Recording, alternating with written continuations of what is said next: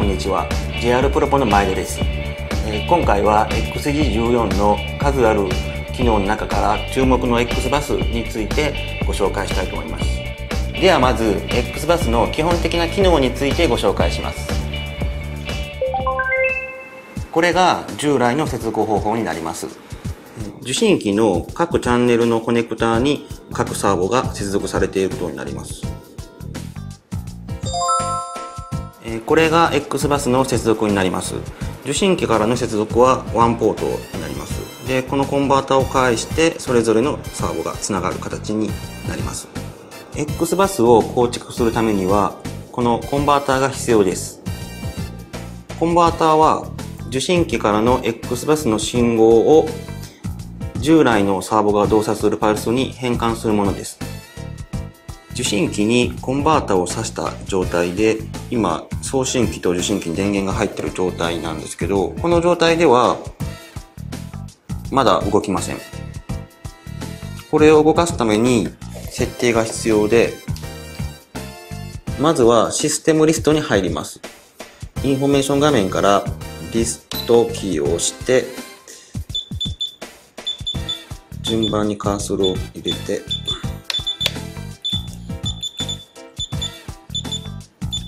システムリストを選択します。さらにシステムリストの中の3ページ目に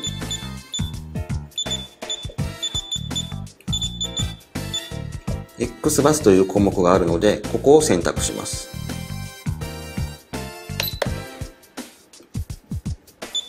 中に入ると、バスタイプと書いているのがインヒビットに設定されているので、これをモード A を選択します。この時点でサーボが動作するようになります。コンバーターは初期状態ではすべてスロットルチャンネルに設定されています。すべてスロットルチャンネルになってるんですけども、実際はスロットルチャンネルの1番、スロットルチャンネルの2番、スロットルチャンネルの3番、スロットルチャンネルの4番と、それぞれのポートにサブ ID が設定されています。では、実際にコンバーターのチャンネルを、設定していきたいと思います。まず、まあ、1番はスロットルチャンネルに設定されてますので、それを残して、2番目のポートをエルロンチャンネルに変えたいと思います。送信機の X パスファンクションの中のセッティングというところの項目に入っていただき、今この2番目のポートは1の2という ID に設定されてますので、まずはこの1番目の項目で1の2に対して、でその次の項目で ID チェンジっていうのがあるので、ここで変えたいチャンネル2の1番を選択します。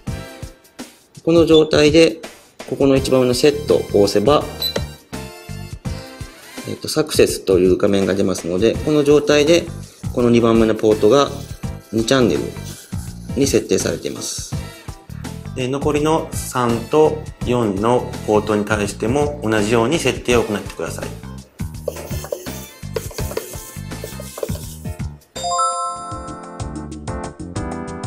えーそれでは X パス製品のラインナップについてご紹介します。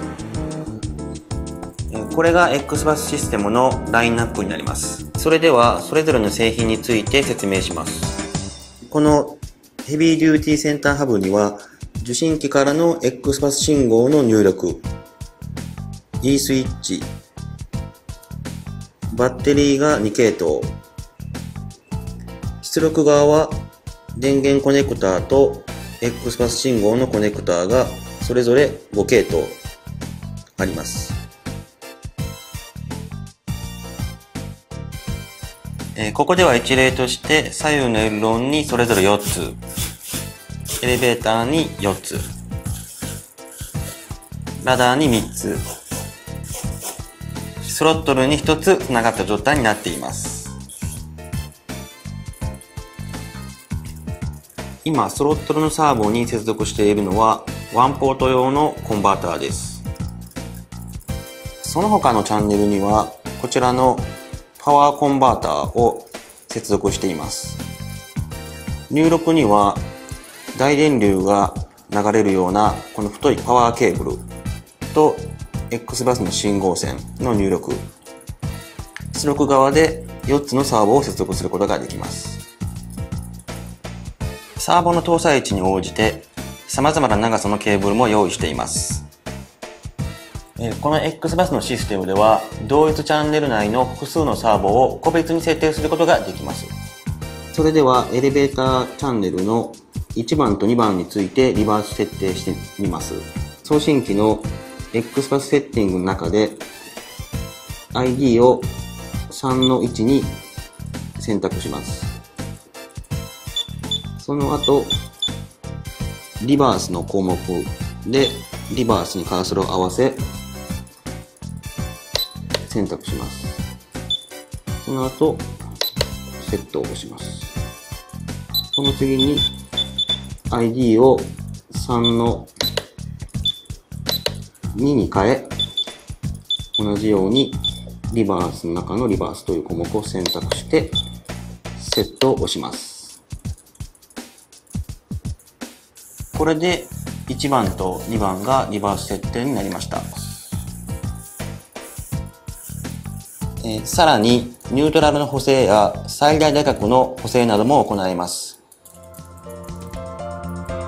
このシステムの最大の特徴はこれだけのサーボを同時に動かしても安定した電源を供給できることです。JR プロコの X パスシステム。是非体感してみてください。